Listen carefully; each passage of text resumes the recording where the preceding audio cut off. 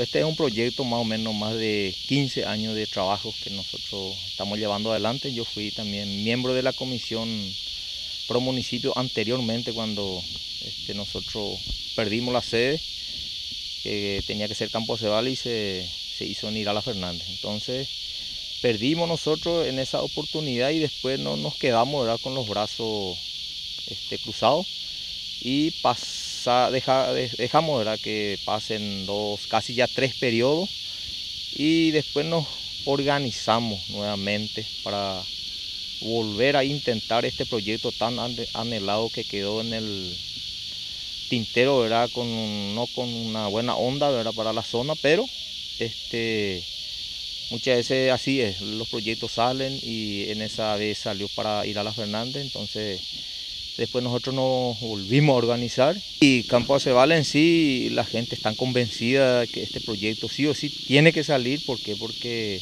Campo Acebal es una zona importante con más de 42 años de fundación, la colonia.